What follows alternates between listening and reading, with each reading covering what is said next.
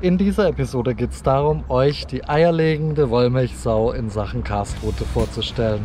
Mit 7 bis 21 Gramm Wurfgewicht kann man eine Menge machen. Nämlich all das schmeißen, was ich euch jetzt zeigen werde.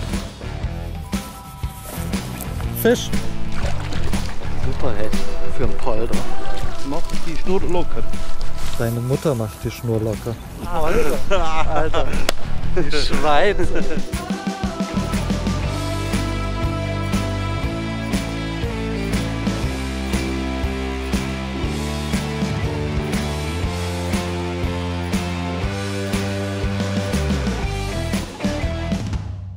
Eierlegende Wollmilchsau, die muss viel können. Und diese Routen können sehr viel.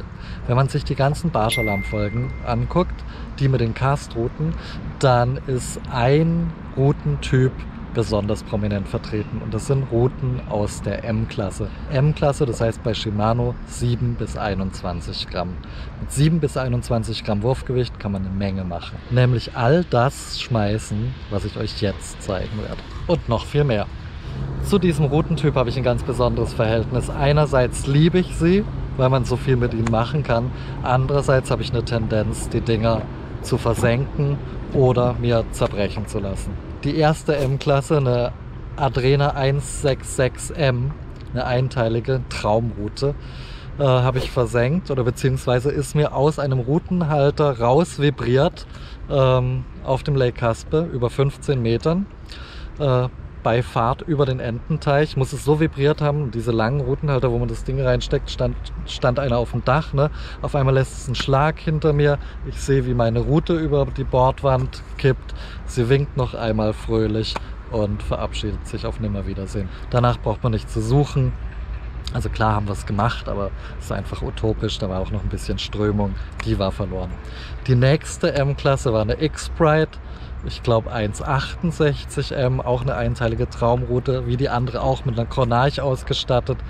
Richtig geiles Geschütz. Da war ich mit dem Fight auf dem Krummsee und ähm, er mit, es war April, Barschangeln, er mit dem Bellyboot und dann hat er mir sein Futterboot gegeben vom Karpfenangeln und mich da reingepfercht mit noch einer BFS-Kombo, mit einer Kamera, mit Ködern und ich mit meinen langen Beinen, ja, ich bin größer als man denkt, 1,87, ähm, saß dann da zwei Stunden drin, habe eh schon so ein bisschen mit Platzangst zu kämpfen und dann ging es irgendwie nicht mehr. Die Beine haben gekribbelt, alles war scheiße. Dann habe ich mich hingestellt, ging eine halbe Stunde gut bis zu dem Moment, wo ich von der BFS auf die, auf die M wechseln wollte, um größere Köder zu fischen und das Gleichgewicht verloren habe, ins Wasser gefallen bin äh, bei 7 Grad die BFS, an die habe ich mich geklammert, die habe ich retten können, aber die M lag einfach mal drin. Das habe ich dann auf dem Shimano-Blog geschrieben, damals, einen kleinen Bericht. Daraufhin hat sich ein Taucher gemeldet, mit dem bin ich dahin. Wir haben versucht, die M-Klasse rauszuholen, die X-Brite. Hat nicht geklappt. War zu kalt. Jedes Mal, wenn der mit den Flossen gewedelt hat, war er in einer Wolke Schlamm äh, drin, hat nichts gesehen. Also mussten wir es abbrechen. Äh, die Route liegt da immer noch. Wenn ihr also Lust auf eine M-Klasse habt, günstig, dann fahrt zum Krummsee und holt sie euch. Und dann meldet euch bei Instagram, weil dann gehen wir zusammen eine Runde fischen mit der Route. Die Rolle wird nicht mehr taugen, die Route muss noch okay sein. Ja, und dann noch eine etwas günstigere äh, Geschichte, weil die Rolle da geblieben ist, ist in der Hechthölle passiert. Da hat Stefan, ich denke, es war ein Akt der Sabotage, hat Stefan, äh, habe ich Stefan gefilmt, wie er ein bisschen ausgeworfen hat. Äh, er schaut nicht nach hinten, ich meine Route ein bisschen dumm gestellt. Route gebrochen, Spitze ab. Bass One, ich liebe sie oder ich habe sie geliebt. Bass One kaputt. Schöner Wurf von Stefan jetzt. Immerhin ist die Route noch erhalten. Ähm, Gut, ich habe sie quer ins Boot gelegt. Wollte gratis Filmen aufhören. Hätte ich's gemacht, hätte ich noch eine ganze Route. Oh Mann, so, ey, die Bass One, ey, sie hat wirklich diese Route, ne, ist nicht super teuer, aber sie macht so Spaß. Die hat wirklich so Spaß gemacht. War für heute genau die richtige Route. Aber ich kann nicht trösten, ich habe auch einen unheimlichen Schaden. Guck mal hier. Der Trost ist klein. Fast noch schlimmer. Das war so schön mit Das hätte ihr. noch schlimmer kommen. Kann passieren, sollte nicht passieren. Beim Auswerfen immer schön nach hinten gucken, lieber Stefan. Das Gute ist, dass ich ein Fable für diesen Routentyp habe und dass ich noch zwei Modelle übrig habe.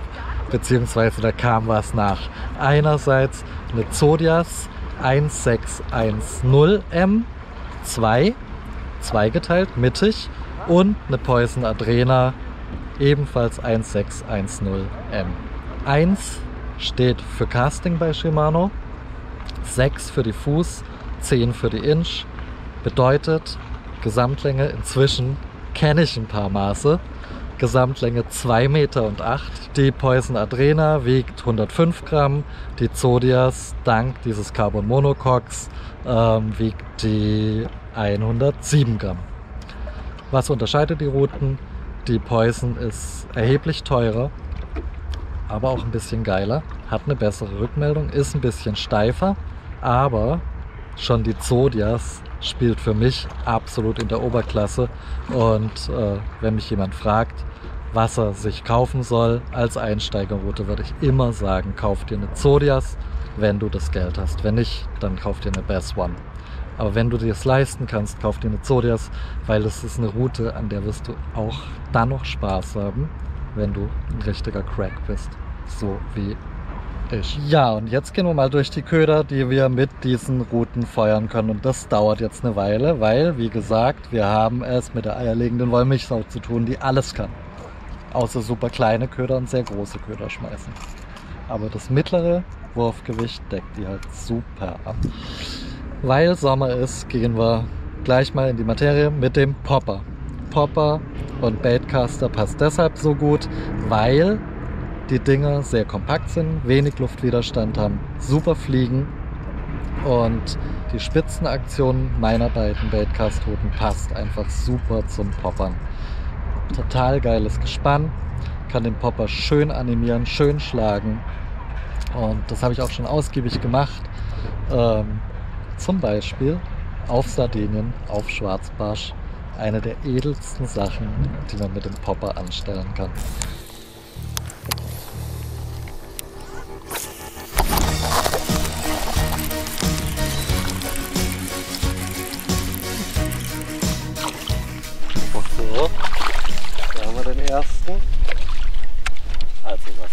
Ersten? Den ersten gefilmt.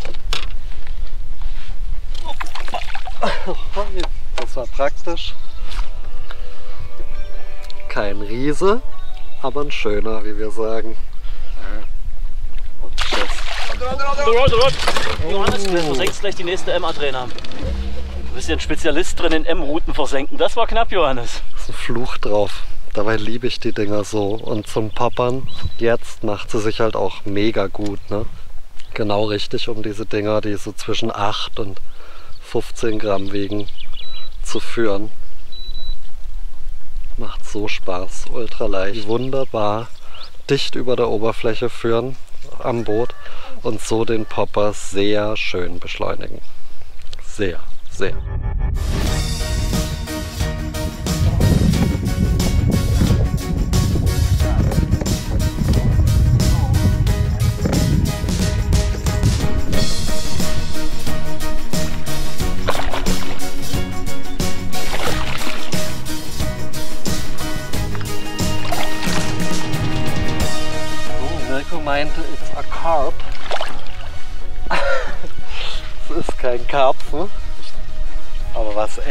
Geiles.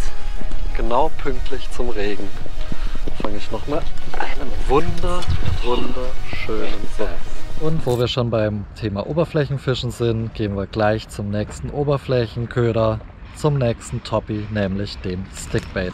Hier habe ich einen Sammy, ähm, der ist, glaube ich, ist ein 110er, glaube ich, 11 cm lang, ähm, wiegt so um die 20 Gramm. Damit reizt man das Wurfgewicht schon aus, macht aber gar nichts, weil der hat ja keinen Widerstand, ne? da gibt es keine Tauchschaufel, der macht nichts Druck, der slidet einfach über die Wasseroberfläche. Den kann ich sehr gut mit meinen langen Baitcastern, relativ langen Baitcastern werfen. Der fliegt ultra weit und was halt wirklich sehr schön ist, ist, wenn ich von oben nach unten arbeite mit der oben sitzenden Rolle. ist halt immer gut zum Twitchen, Jerken, Walking the Dog Action machen.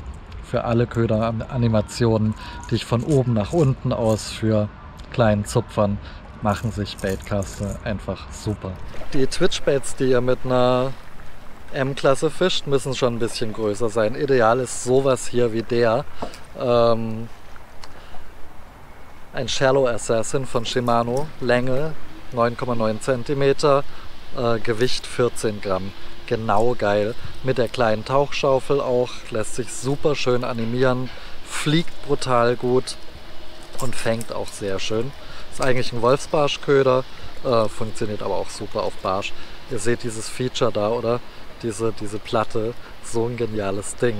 Kann man gar nicht stoppen, diesen, diese Vibration der arbeitet und gaukelt den Fischen auch im Stillstand was Lebendiges vor. Taucht nicht tief, genau geil, um Seerosenfelder, die Kanten zu beangeln oder über Kraut oder halt im Flachwasser. Oder auf Fische, die im Oberflächenbereich aktiv sind, vielleicht unter irgendwelchen Laubenschwärmen. Also, wenn ihr Twitch-Baits mit der Baitcaster, mit der M-Klasse fischen wollt, dann müssen sie schon ein bisschen was wiegen. Warum eine Baitcaster für Twitch-Baits super ist, brauche ich eigentlich nicht mehr zu sagen, oder? Ich mache es trotzdem. Der Köder fliegt der Schnur voraus. Ne? Die Schnur wird linear von der Rolle gezogen. Dadurch kann sich der Köder nicht in die Schnur wickeln und es kommt ganz selten dazu, dass mal der Köder äh, beim Antwitchen, beim ersten, schon in der Schnur hängt, was mit der Stationärrolle halt ab und zu mal vorkommt. Und dann auch wieder die Köderführung von oben nach unten macht halt einfach äh, mit einer Baitcaster viel mehr Spaß. Da knickt man nicht so weit ab mit dem Handgelenk. Ist äh, sehr schonend und in dem Zusammenhang empfehle ich euch, aber das, dazu komme ich später noch, auf jeden Fall mit Mono oder Fluorcarbon zu angeln. Wenn er mit Mono angelt, dann mit einer mit wenig Dehnung. Ja, und wenn wir schon bei Mono und Hardbait sind, dann muss natürlich auch der Crankbait her. Also auch Cranks könnt ihr mit der M-Klasse sehr gut werfen. Schielt er etwa? ich glaube, er schielt ein bisschen. Auch da empfehle ich euch diese 1,6, 1,0er Länge, ne, die 2,8 Meter, 8, sorgen einfach für mehr Wurfweite und für bessere Anhiebe auf längere Distanz. Beziehungsweise könnt ihr auch die Routenspitze weiter ins Wasser tunken um so ein bisschen Lauftiefe zu gewinnen. Das Köderspektrum, das Crankspektrum ist dann wirklich so von 8 bis, sage ich mal, 15, 16 Gramm. Viel mehr sollte man der M nicht zumuten, weil die haben ja schon viel Einzugwiderstand und wir brauchen ja noch ein bisschen, bisschen Power, ein bisschen Routenpower. Ähm, die soll nicht ganz schon durchgebogen sein, äh, damit sich die Fische auch noch schön haken, dass die schön mitgehen kann, wenn der Fisch kommt. Dann fehlt ja eigentlich nur noch ein Hardbait-Typ, nämlich er hier, der Lipless. Geht natürlich auch sehr gut mit der M-Klasse. Warum? Eh ein Flugwunder. Lässt sich sehr weit werfen mit der Baitcaster. Sehr kompakt, wunderschön auch für Einsteiger geeignet. Ähm, der da ist eh obergeil. Ne? weiß gerade gar nicht, wie er heißt. Ich weiß nur, dass er von Shimano ist. Aber alle Köder, die ich hier zeige, werden in der Beschreibung aufgeführt. Im Übrigen mache ich das immer. Also schaut bitte in die Beschreibung rein, wenn euch das Material interessiert. Sehr beliebt, nicht nur bei mir inzwischen, der Chatterbait. Der Chatterbait macht Furore und der Chatterbait und die M-Klasse sind wie füreinander gemacht. Zumindest Chatterbaits im Bereich von, der wiegt glaube ich dreieinhalb Gramm. Allerdings ausreizen sollte man das nicht. Ne? Erstens, wie gesagt, der Jig ist das, was angegeben wird. Ähm, ihr müsst dazu rechnen, dass da noch der Trailer, also euer Gummi kommt und die Blade und die Franzen. Also da kommt schon ein bisschen was zusammen. Und ein Chatterbait hat einen großen Einzugwiderstand und soll ja auch noch inhaliert werden können. Und wenn die Route schon unter vollem Zug ist und der Fisch nicht noch mal ein bisschen Routenspitze nehmen kann, dann kommt es zu Fehlbissen. Und die Routen sind dann halt auch überlastet, einfach mal mit äh, 20 Gramm. Ich habe einen sehr, sehr schönen Fisch gefangen äh, auf einem Chatterbait, den ihr noch nicht gesehen habt. Und zwar war ich da im Januar in Holland, waren wir ein bisschen poldern. Und dann war ich an so einer Brücke gestanden. Ich habe zwei Würfe unter die Brücke gemacht, nichts passiert. Und gedacht, okay, gehst du mal auf die Brücke und schaust dir das ganze System mal von oben an. Dann komme ich auf die Brücke, schaue nach unten und sehe einen Hecht wegspurten, einen großen und eine Schlammwolke hinterlassen. Habe ich natürlich gekotzt, weil ich gedacht habe, okay, den hättest du vielleicht mit zwei weiteren Würfen echt haben können. Da, Riesenhecht weggeschwommen. Ey, Riesenhecht, das war er. Kerzengerade. Siehst du die Schlammwolke? Riesenhecht gerade geflohen. Das ist die Schlammwolke. Äh, habe aber gesehen, dass der so nach vorne geflohen ist und bin dann klugerweise meinen Mitanglern vorausgelaufen. Und äh, ich glaube 20 Meter später oder sowas hat es bling gemacht. Dann hing das Ding. Es ist halt dieses brutale Wetter. Kein Wind.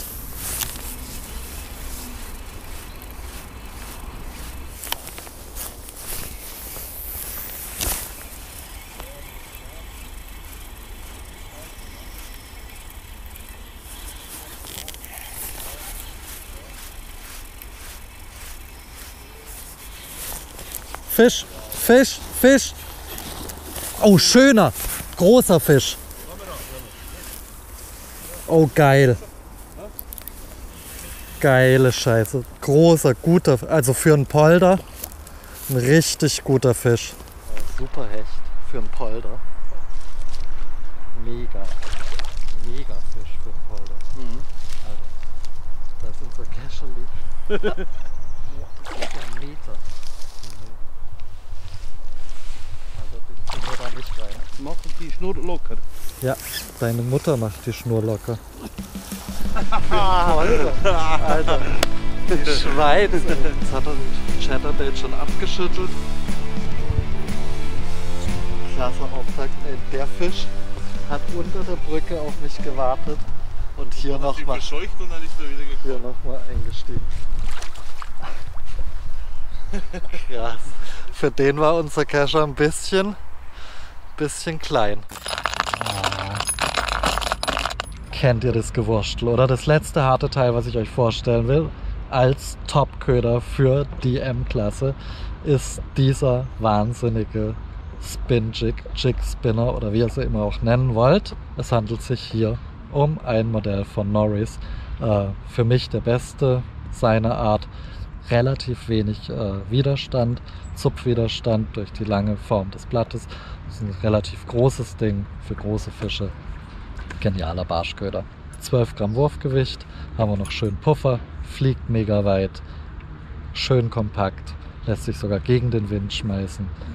Ein Traumköder für Baitcast-Einsteiger. So, dann wird es Zeit, ein bisschen softer zu werden. Und zwar fangen wir mal an mit was, wo ich immer richtig Spaß drin habe. Nämlich mit dem Angeln mit Rubber Jigs. Rubber Jigs sind für mich die Dickbarschköder Nummer 1.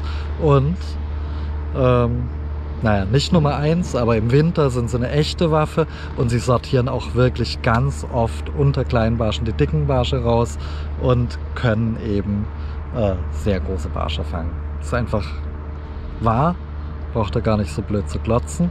Es stimmt, was der Fatih sagt, stimmt immer.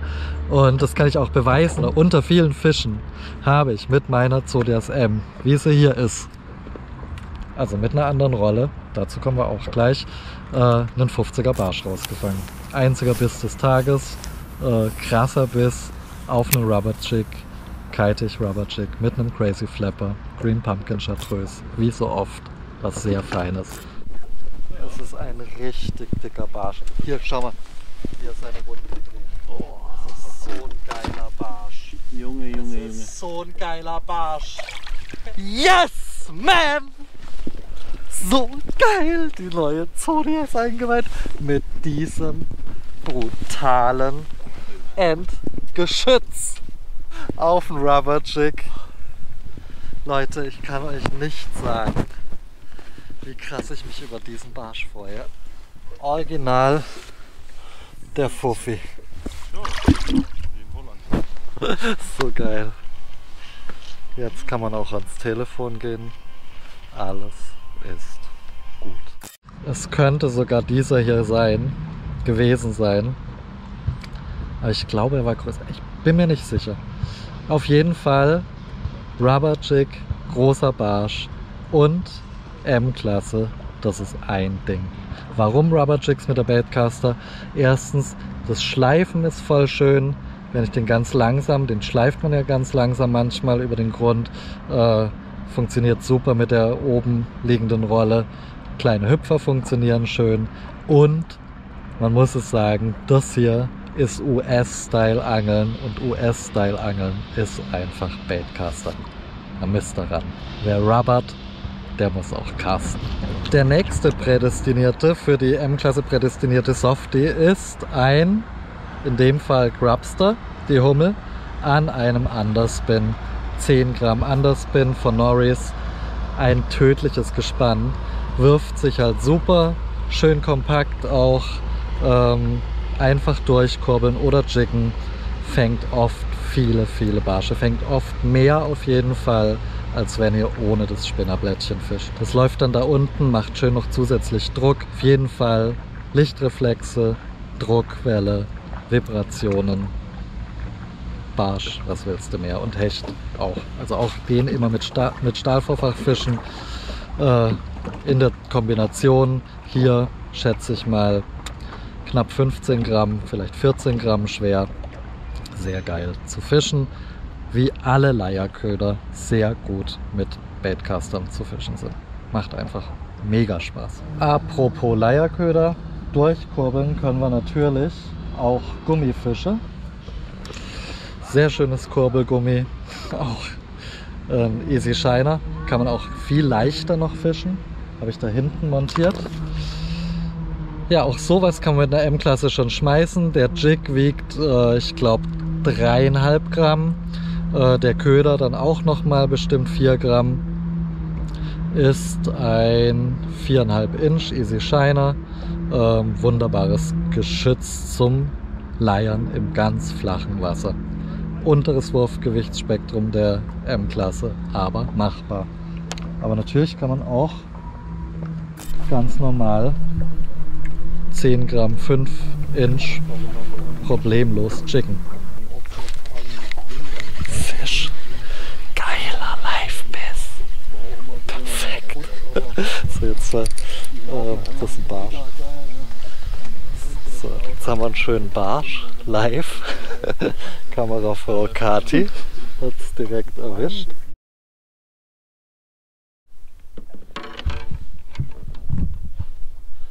Sehr gut. Eine gelungene Kooperation von Kati und mir. Exakt ein Wurf hat es gedauert. Gerade gebeten, noch ein paar Close-Ups zu drehen. Rollen und so weiter, dass die Cutter auch schön Schnittmaterial haben. Pam, kommt der Barsch. Perfekt. Super. Was auch sehr gut funktioniert mit der M-Klasse ist einfach das Angeln mit der Cheburashka. Äh, gern auch ein bisschen größer zum Zanderfischen oder zum Angeln auf große Barsche. Hier mit so einer Hummel dran, 12 Gramm Tangsten Chebu. Ähm, lässt sich super feuern.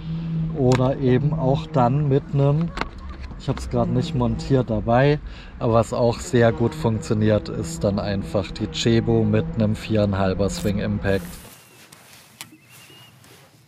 So, erster Wurf, Cheburashka.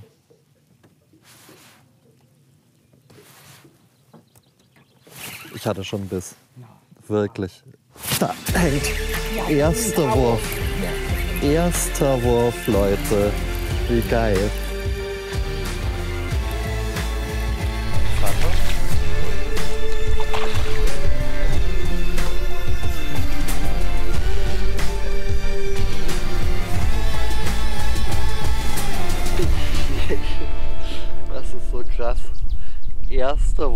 Leute. Tutorial-Alarm. Der hat zweimal zugepackt. Lassen wir wieder schwimmen. Es geht um die Cheburashka. Die Cheburashka fängt. Oh nein, seht ihr im Hintergrund die Gefahr? Der, der Proll, der Proll nähert sich an. Ähm, schnell fertig machen. Also, oder ab nach Sardinien zum Angeln mit Softjerks auf Schwarzbarsch.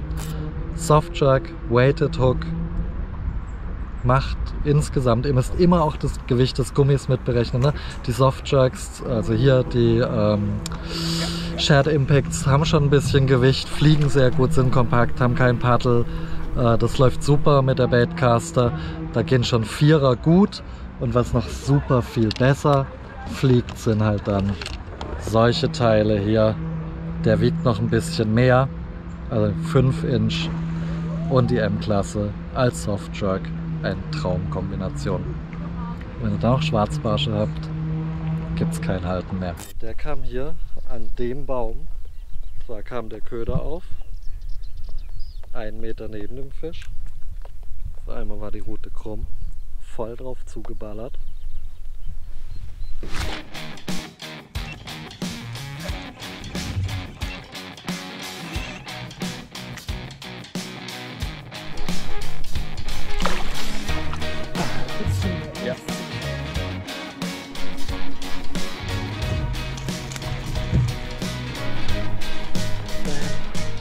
Ja, dann habe ich ja neulich bewiesen, dass man mit der, also was heißt bewiesen, gezeigt, dass man mega überbleibt mit der M-Klasse vertikal auf Dorsche angeln kann. Mit 40 Gramm, weil man sie ja einfach nur runterlassen muss. Geht super, macht mega Bock und äh, auch ganz viel Spaß. Klappert beim Runterlassen. Oh, oh, oh.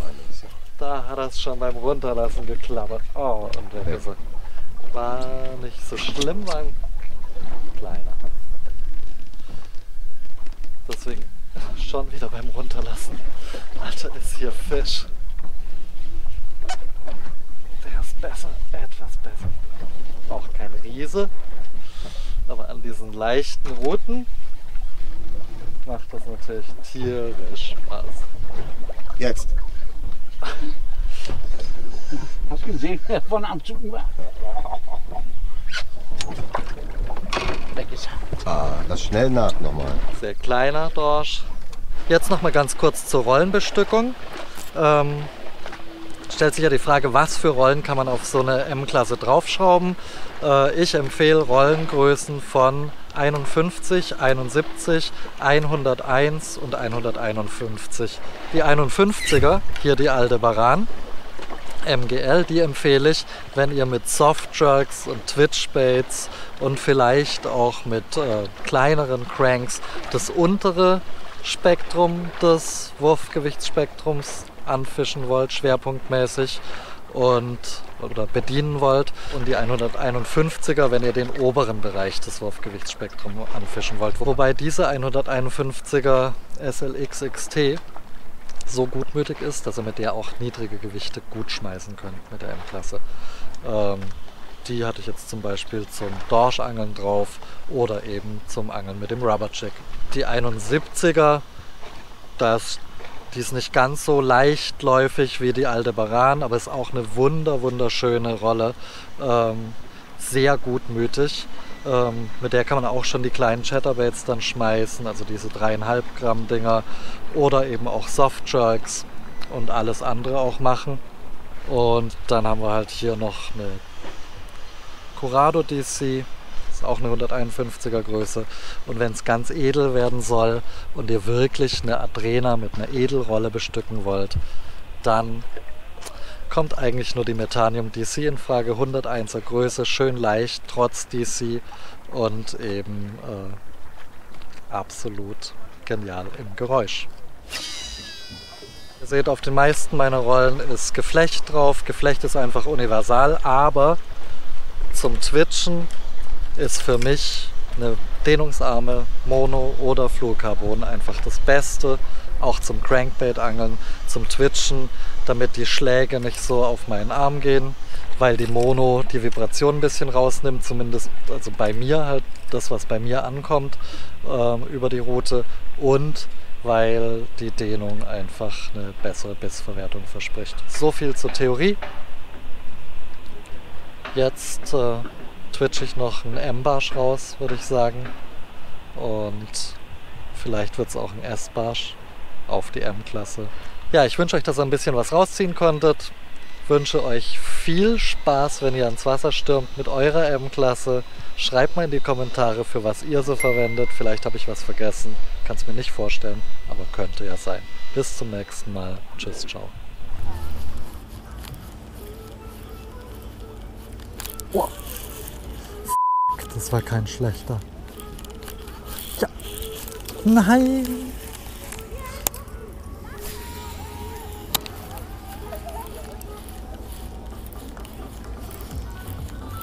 Für Sprayverhältnisse.